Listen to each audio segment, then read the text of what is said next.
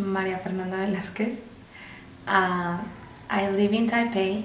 I study at Shih Chien University, New Media Communication Design.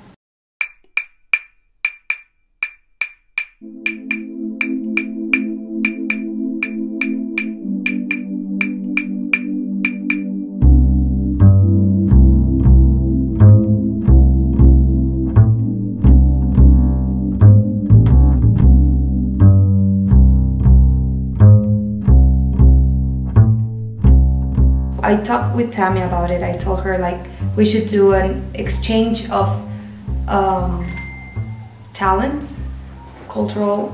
Uh, so we talked about it. We tried to to talk with different people, but everyone was. They said it was too difficult to make it happen. To to bring someone from Taipei and send someone from Mexico to Taipei. So uh, that was the first idea, right? The second part is that knowing that Taipei will be the capital of design in 2016, we wanted to do something about it. So I came to Mexico last year and we talked with uh, Gerardo Partida, who is the director of the of the museum. He was very excited, he was very enthusiastic about it, and so he invited Tammie we showed him Tammie's work and he liked it, so he invited her to do the uh, the exhibition.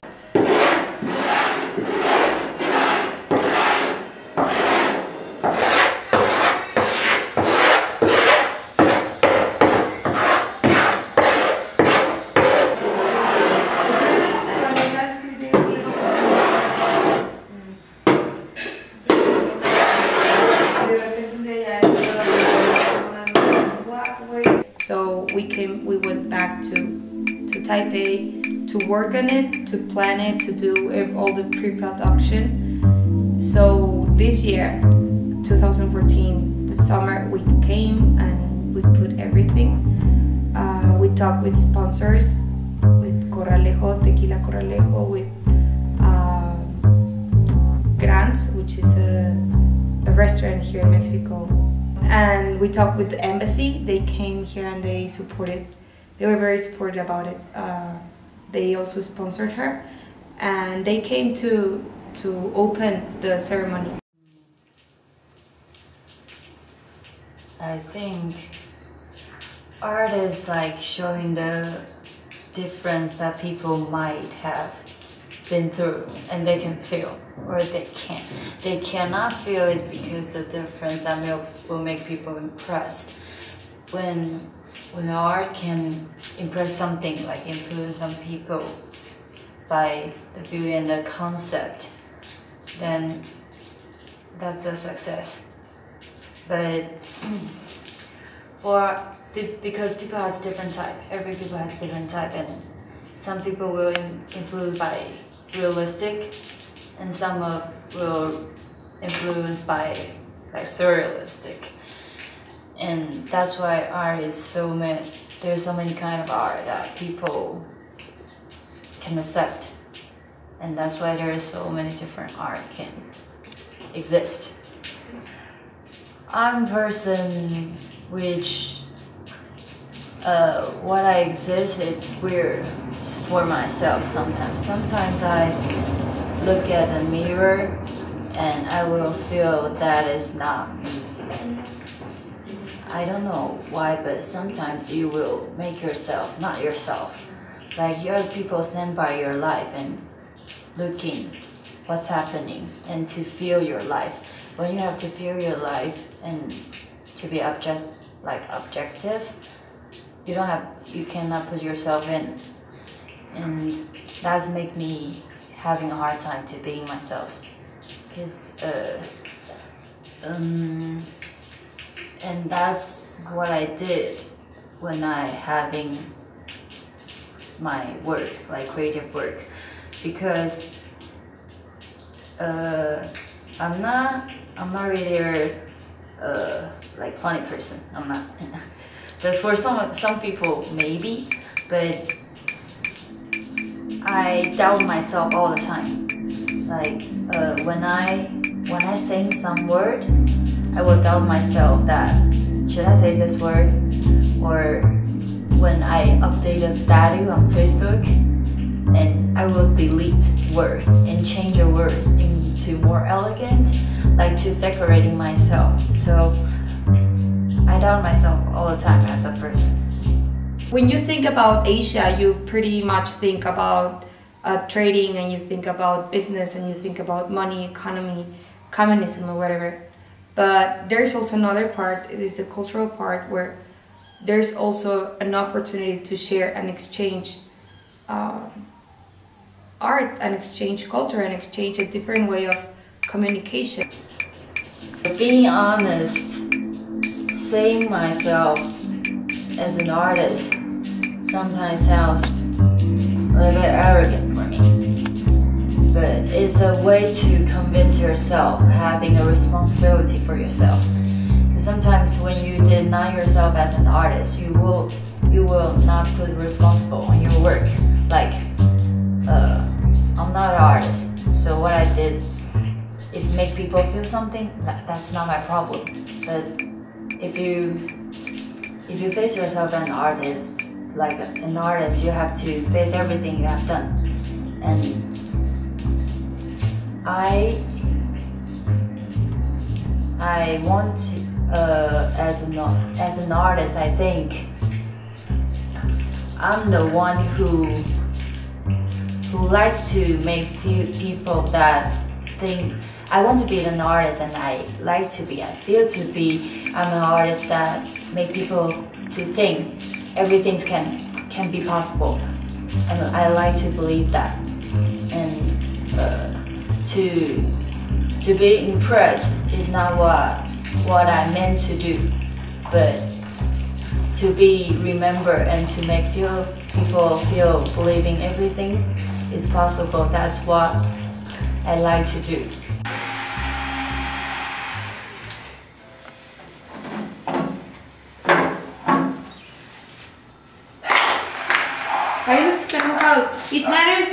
They are wet, right? Con estos.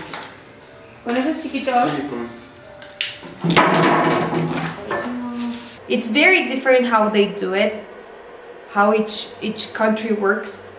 Uh, for example, here in uh, in Taipei, it's very experimental. The university is very very experimental. You can do pretty much whatever you want, as long as you come up with with new stuff. As long as you come up with with sustainable stuff. In Mexico, I think it's a little bit more trendy.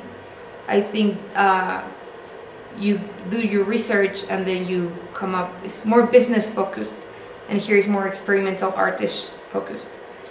Uh, I like it very much. Both of them. I think both of them are very good. It's just uh, different. Um, I see how in both countries they're uh, trying to support each other. It's a very, it's a this design community. I think around the world, it's very supportive with each other. It's not like oh you copy this from me and then you copy this from me or anything. It's very, we share a lot in both countries. I built those kind of doors and when I first did it, I was did it by myself. And I'm little and I'm a woman and I'm small. But everyone can build a huge thing like this. If I can, everyone can. That's the way I want to be, the artist to encourage it. Yeah, that's my goal.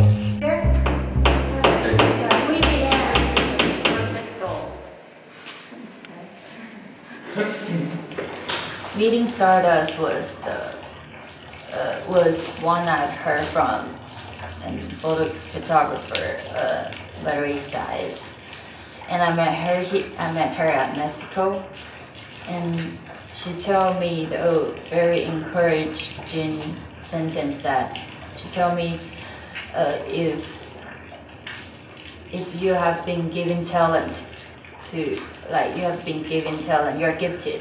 You have to show it to the world. So meeting start and she said everyone is stardust and we were shining and we will shine in the world. At that time I that that's kind feat to my to my principle of doing work. Like I want to encourage people and I want to make something different and make people to believe in, in themselves. And the meeting started. The words she said that everyone is a stardust is exactly what I like to feel. So that's why I give the name to this exhibition. Art for me is a is a way of expressing yourself.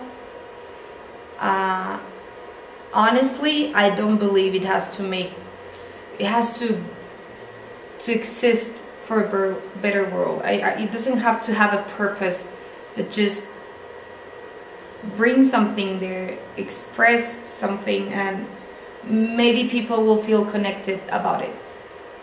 Um,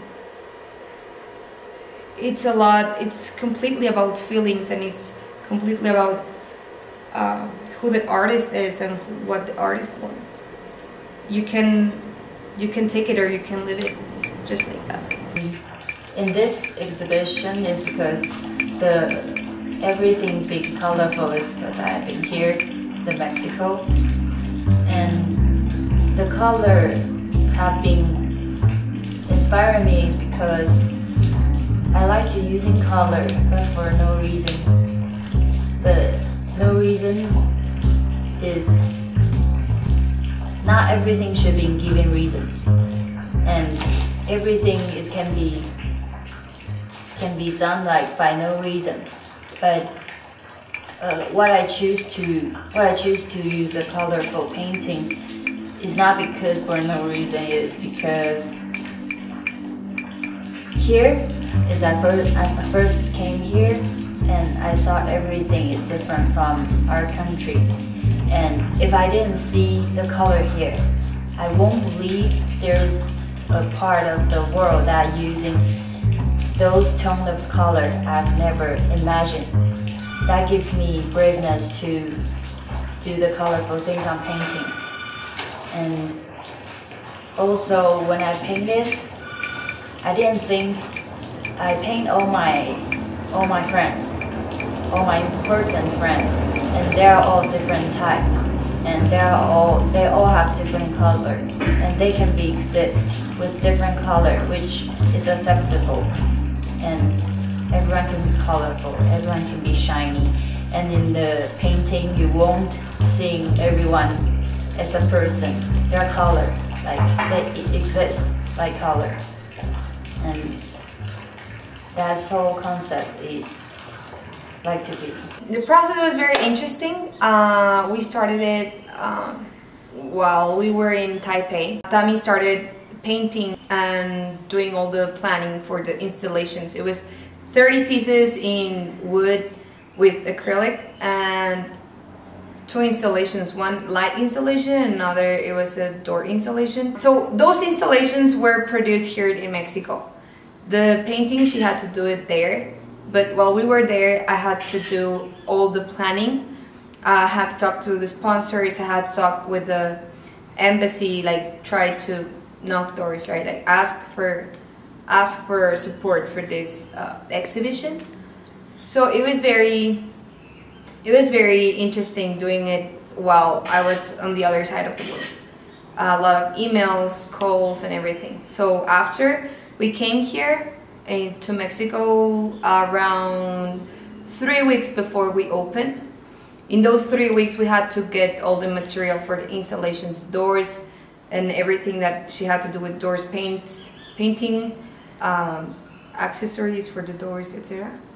And also, we had to to bring all the um, the lights for the for that installations, the strings and everything.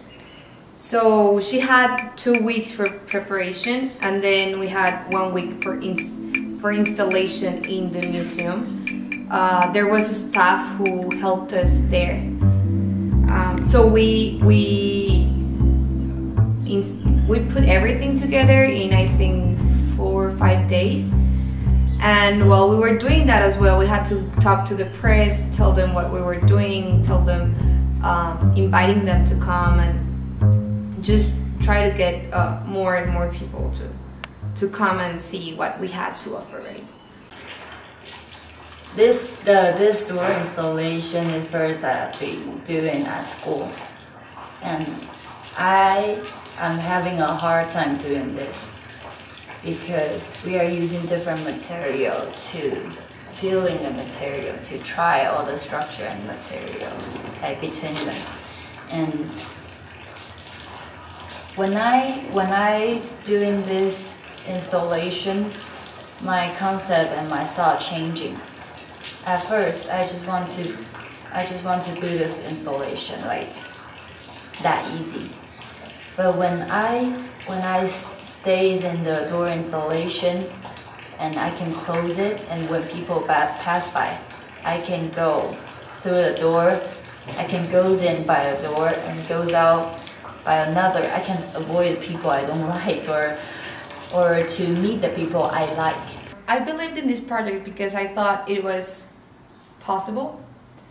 Um, once you know both cultures and you know how difficult or how easy it could be, I think it's easier to just step out. While Tammie was creating, I had to do all the all the PR stuff to ask for sponsors, to ask for this, ask for that, move this, move that. But it was very regarding. I think it's experience that let you know more people let you know more of yourself and and teaches you how to how to go further. The light installation part was was absolutely beating the stardust thing. Uh, I used the string, the string which you can it's really really thin that you cannot see in the light, and I used another kind of string, and it's kind of like uh, they put some uh, colors in it, the white color like bleach, um, and use a different light which, which they put bleach in. So the string, which you cannot see, with the string with the bleach, and uh, to put together, the string with the bleach will show like they are flying in the dark room, and I'm using the black light to let them shine with the purple light. That's the, the exactly exactly presentation for Stardust. That's the scar people have been left. And you only can see them in the dark room.